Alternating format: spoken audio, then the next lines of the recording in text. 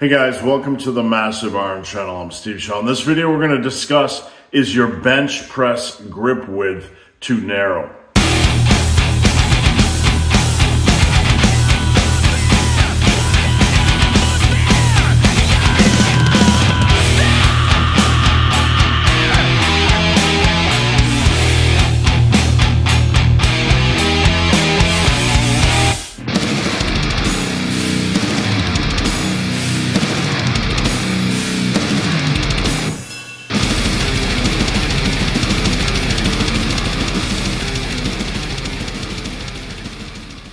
Before I get into this topic, if you have any questions or comments, drop them down below. The best topic ideas I turn into videos just like this. If you need coaching, check out the link below. I would love to work with you. All right, so this is a pretty common thing.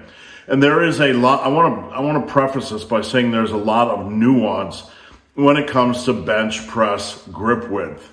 We have to understand that we can't put everybody in the same group. There are different limb lengths, there's different leverages. I have longer arms. It might be easier for me to bench wide. With a wider grip, there are guys with shorter arms. It might make more sense to bench more narrow. So just consider this a generalization. What we want to do is analyze the bigger picture rather than creating a set of rules. Now, with that said, most people, and when I say most, I don't mean all, but most people that come to me with a bench press form video, I notice that their grip is almost always a little bit too narrow for their body type, for their limb lengths and leverages. What I mean is a lot of them are almost doing a close grip bench press. They just don't realize it. Now, this isn't the worst thing you can do. You're still going to get chest activation. We're not trying to create some big issue, some big scandal, and proclaim you're not getting chest gains from using a slightly closer grip on bench. That's not the case, and we're not trying to be reactionary and start all kinds of madness. With that said, when it comes to bench press grip width, the wider your grip, the bigger chance you're going to hit more of your chest and a little bit less of your tricep. You're still going to hit your triceps during lockout. You're still going to incorporate your front delts and to a degree your side delts. But the wider you go, just slightly wider, it's going to start to incorporate a little bit more chest. The average individual that comes to me has a little bit more narrow grip than they probably should.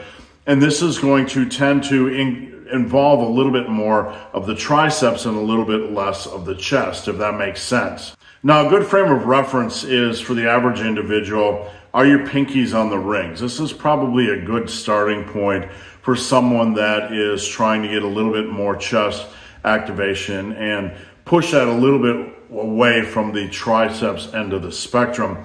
Now, for guys with a little bit shorter arms, obviously, you're going to have to bring it in a little bit. That's okay. Again, we're not trying to create a rule. When I first came to powerlifting, when I first uh, learned about powerlifting, I think my my grip was about that far away from the rings and I actually started to move it out a little bit. I moved, actually moved it to pinkies on rings and eventually I do my ring fingers on the rings. That's where I bench now. So I slowly moved things out and as I did, I experienced a little bit more chest focus and a little bit less tricep stress. One of the more undervalued and under-targeted aspects of building a big bench is chest strength. The bench press inherently involves the front delts. It obviously involves the triceps during lockout, but we automatically assume that we can take whatever grip width we want and hit the chest effectively. Chest is kind of the uh, the redheaded stepchild of the bench press world. We focus on our delts, we focus on our triceps, we just focus on benching in general, but we don't focus on overall chest strength or maximizing chest strength. So while you don't have to do only a slightly wider grip or more conventional bench press, it is a good idea to do that probably every other week, a little bit wider than you are now. Again, I'm not trying to create a rule, I'm not trying to say everybody has to have pinkies on the rings, but consider the fact that where you are now, it's probably a good idea to slowly move that grip width out a little bit, maybe a finger, maybe two fingers, maybe three fingers over time, and have a slightly wider week or a slightly wider bench day. If you are going to move your bench out, I recommend you do it very, very slowly. Move things out one finger a month. I moved, this is how I did it when I discovered powerlifting. I started moving things out one finger in a month. This will allow for a more general, uh, smooth transition.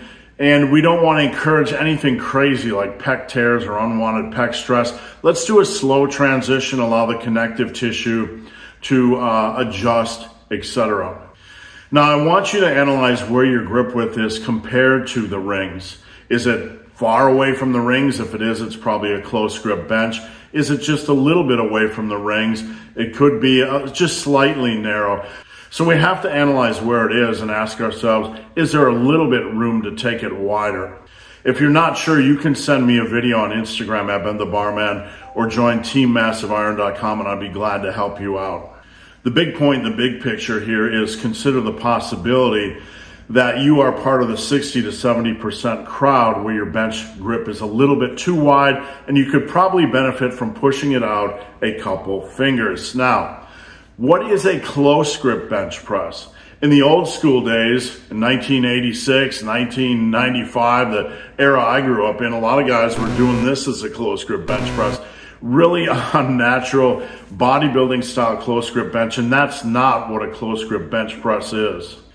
A close grip bench press just shifts the stress slightly inward, not dramatically inward. You don't go from here on your bench press to here. That's ridiculous. This is going to cause uh, internal shoulder rotation, unwanted shoulder stress, and it's just going to be bad on the shoulders and joints in general, the wrists as well. So what you want to do is wherever your bench press width is, bring it in a palm. Bring it in a palm's width, and that will be your close grip bench. So if your bench is here, bring it in a palm, and that's your close grip bench press. You're gonna have your bench, on your bench, your arms are gonna be, I don't know, about 45 degree angle. When you bring things in, your wrists are still gonna be over your elbows on the close grip bench. It's just gonna be slightly more narrow. And we're gonna be transitioning some of the stress to the triceps. Whatever you do, don't overthink this stuff. Don't panic.